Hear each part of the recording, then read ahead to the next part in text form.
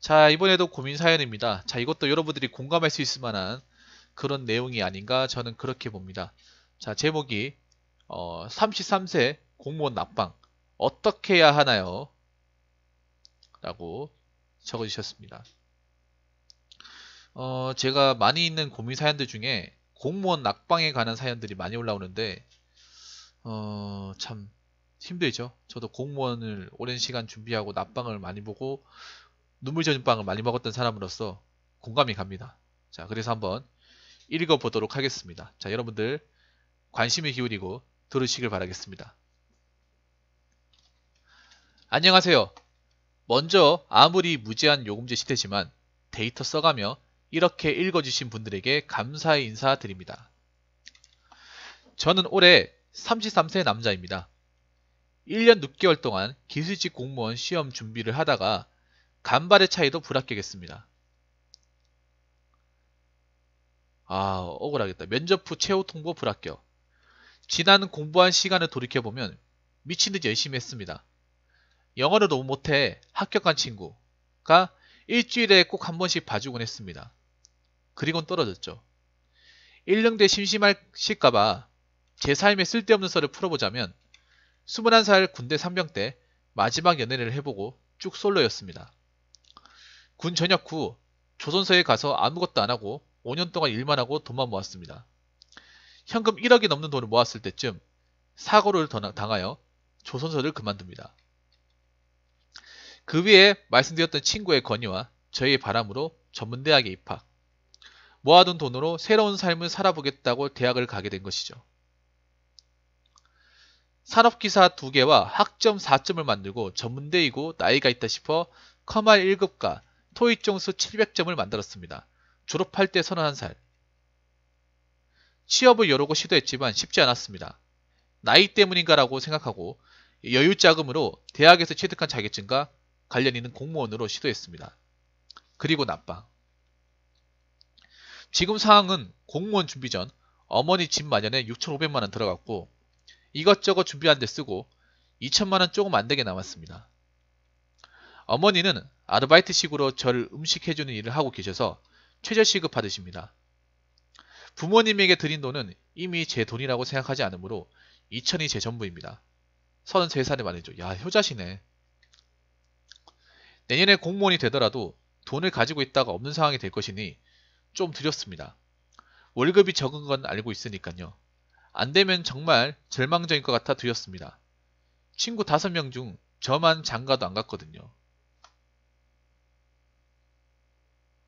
아, 그래? 안녕하세요. 누구시지? 유튜브 채팅이 안 된다고요? 아, 반갑습니다. 누구십니까? 원래 공무원 준비할 때가 자존감 바닥이라고 하는 말이 맞다 싶습니다. 하지만 하나뿐인 어머니는 제가 몇 년이 걸리더라도 계속 준비하길 바라십니다. 나이도 있고 내년도 걱정되고 주위는 다 장가가고 연애에 관심 가는 건 아니지만 실패했다는 생각에 잠이 하나 이렇게 올려봅니다. 장가 못 갔다고 칭얼거리는 게 아니라 뒤처지고 있는 기분의 배경을 말씀드리는 겁니다. 아 힘드시겠다. 자, 어, 잠깐만 트위치 누구시죠? LSH0108이 누구시죠? 자, 사연 잘 읽었습니다. 아, 참. 참, 저 기분이 참 뭐 같아요, 여러분들. 저, 최종에서 떨어진다는 게 기분이 참 뭐 같습니다. 저도 경찰 공무원 시험 최종에서 두 번 납방한 사람으로서 저 마음이 100% 이해갑니다, 진짜. 아, 정말 악몽 같은 꿈을 하루에도 두 번씩 꿔요. 절벽에서 떨어지는 꿈을 일주일 내내 꿔본 적도 있습니다. 예를 들어서 그런 거야. 영...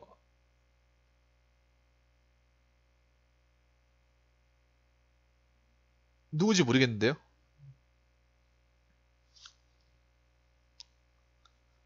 누군지 모르겠는데? 난 돈이 안 하는 사람 모르겠는데? 저한테 도네이션 안 하는 사람들 잘 모르겠는데요.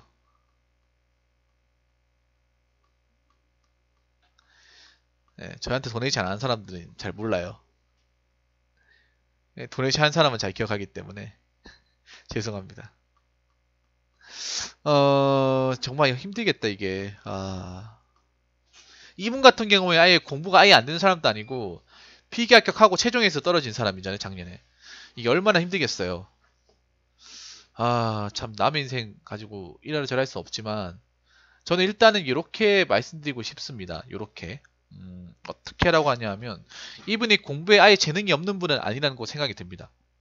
공부에 완전히 재능이 없는 사람은 아니라고 생각이 돼요. 대신에, 어, 저 같은 경우에는, 음, 공부를 하라고 말씀드리고 싶어요. 공부를 해라.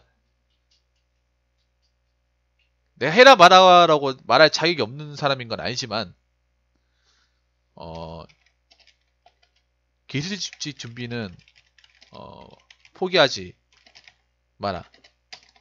대신에, 2년 정도 더 하고, 안 되었을 경우를, 안 되었을 경우, 무슨 일을 할 것인데에 대해서, 대해서도 준비해라. 저 같은 경우, 이분 같은 경우에는 그런 거 하면 될 것 같은데요. 막 2년 했어요. 안 됐어요. 35이잖아. 그러면 지금 가진 자격증이나 이런 거 시설 공단이나 어, 아니면 아파트 관리지 이런 거 알아보면 괜찮을 것 같은데 35살이면 충분히 비집고 들어갈 수 있을 거라고 저는 그렇게 봅니다. 그래서 일단은 2년을 정하고 공부를 했었으면 좋겠어요. 2년. 2년만. 그래서 안 됐을 경우에 어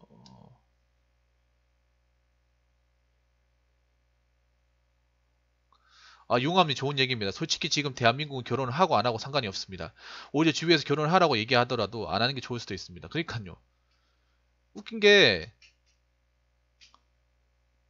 결혼을 해서 행복하게 사는 건 모르겠는데 행복하게 안 사는 사람들도 좀 많으니까 함부로 해라 안 해라 얘기할 수 없는 부분이죠. 맞죠? 그러니까 내가 했기 때문에 너도 해라 그렇게 얘기할 수 없는 부분이야. 맞죠? 그러니까 저는 이렇게 했으면 좋겠어요. 님이 어, 공무원 준비할 때 대비책을 했을 때 했어야 된다고 생각합니다.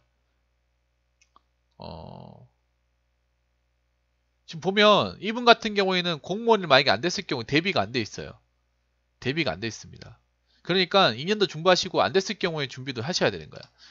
예를 들어서 할 수 있는 것들이 35살 할 수 있는 게 어, 시설 관리 그리고 아파트 관리 아니면 보안업체 이렇게 알아볼 수 있거든요. 네, 이렇게 알아볼 수 있습니다.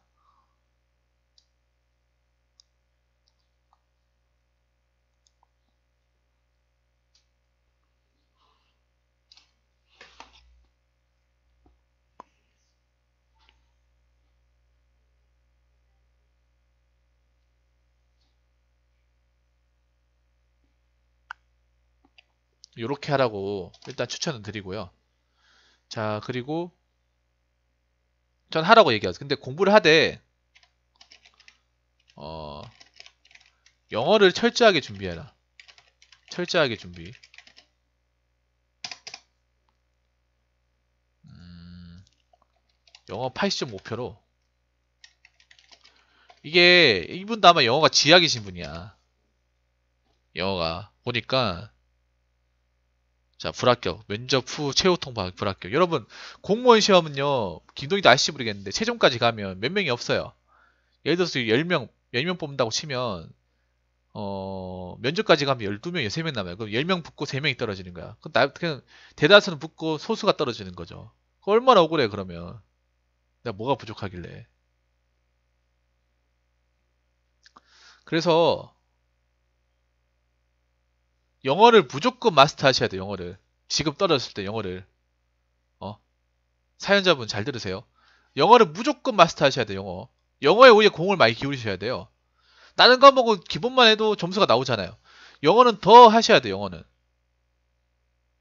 영어 때문에 장수상 되고 못 붙는 사람도 여러 봤습니다. 공, 경찰 시험도 예전에 영어 때문에 과락 먹고 하는 사람도 여러 봤어요. 영어를 잡아야 돼. 영어부터 먼저 잡으셔야 돼요. 영어만 잡고 하면 충분히 안정된 점수가 나와요. 기술직이면 그렇게 경쟁률이 많이 높은 게 아니잖아. 그리고 어, 세 번째 기술직 시험을 볼때 어, 지역 지방직 가리지 말고 다 봐라. 기술직이 보면 지방직도 있고 국가, 국가직 있어요. 이게 시험이 날짜가 다 다릅니다.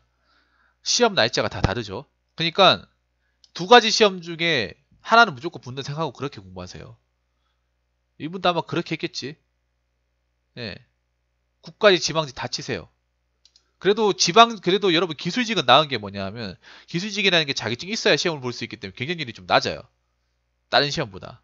할만합니다, 그래도. 좀 할만해요.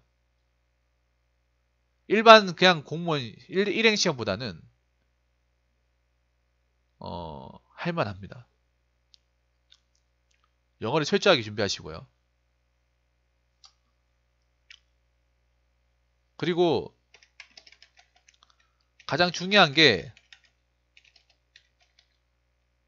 상대방과의 비교를 하지 마세요.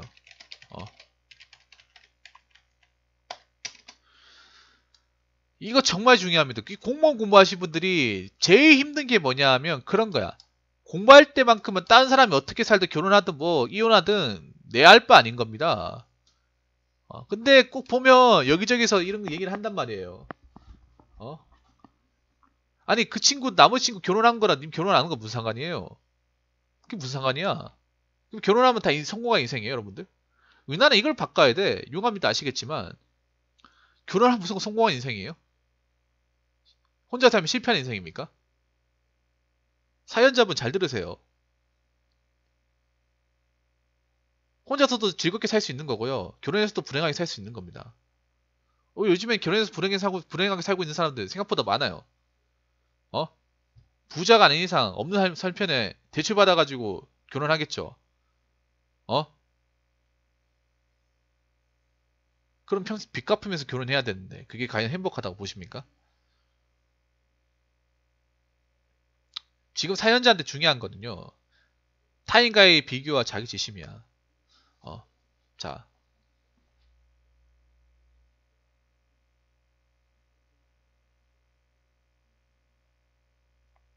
뒤처지고 있다고 생각하면 안 돼요. 어? 아니 뭐 앞서가면 뭐, 상대방이 앞서가면 어떻고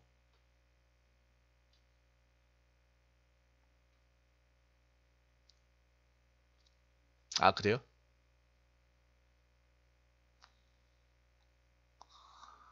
음...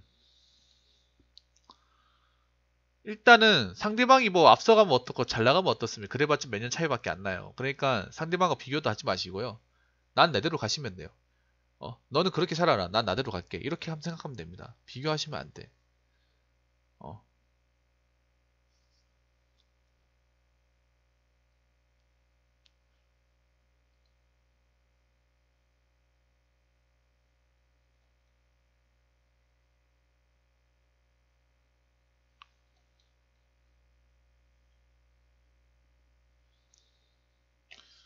그리고 공무원 시험 떨어졌다고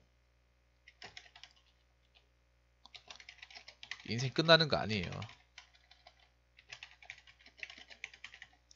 어? 그게 뭐 그렇게 대단한 시험이야? 사연자분 내가 그런 얘기 해볼게요. 그 시험이 뭐 그렇게 대단한 시험입니까? 그 시험이? 어?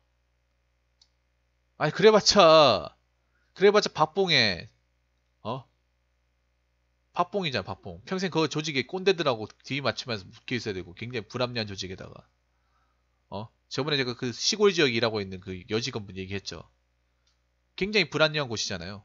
굉장히 말도 안 되는 곳이잖아. 어? 대단한 곳이면 모르겠어. 쥐뿔 아무것도 대단한 게 없어. 뭐가 대단해?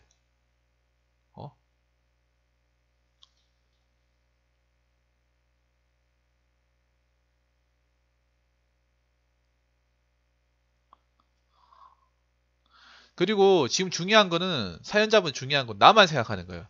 공무원 시험에서 가장 중요한 게 뭔지 아십니까? 나만 생각하는 거야. 주변 사람 결혼하고 자시고 내알바 아닙니다. 그건 내, 내 공무원 시험, 그 사람들 그거 안다고 해서 내 공무원 시험 점수 더 올라가고 하는 거 절대 아니에요. 그거 나중에 붙고 나서 내가 거기서 이제 일하면서 적응하면서 알아도 되는 문제야.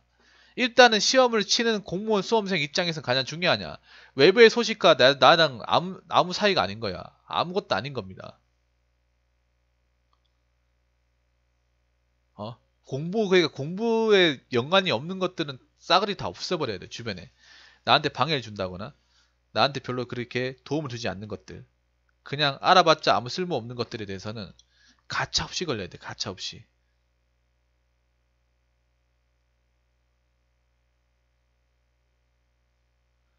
가차 없이 걸으셔야 됩니다. 그게 정말 필요해요. 이거는 공무원 시험 떨어졌다고 공무원 시험 보는 입장에서 이렇게 얘기하는 게 아니라 공무원 되고 나서도 그렇습니 남이 어떻게 살든 남이 결혼하든 말든 집을 샀든 뭐든 저랑은 뭐 크게 상관없는 거예요. 어? 어? 그러니까 거기에 너무 마음 두지 마시고요. 너무 마음 두지 마시고 관심도 주지 마세요.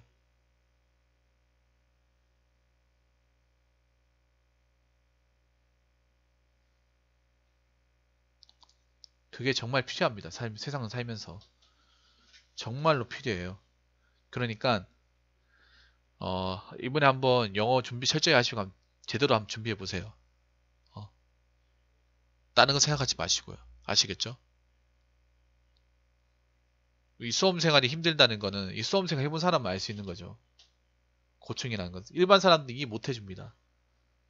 이 공무원 생활이, 공무원 수험 생활이 얼마나 이게 참 늪같고, 참 기약 없고, 사람, 어? 사람 피 뽑아 먹고, 어? 토악질 하는 시험인지는 해본 사람이 알아요. 그러니까, 더 이상 외부의 어떤 주변 사람들 에게 현혹되지 마시고요. 현혹되지 마시고 어, 이번에 제대로 한번 준비해 보시면 저는 어, 붙을 수 있다고 생각합니다. 그러니까 그 지난 아픔, 지난 최종 불합격 아픔 뒤로 하시고 어, 다시 한번 정진하시기를 바라겠습니다. 물론 힘드시겠지만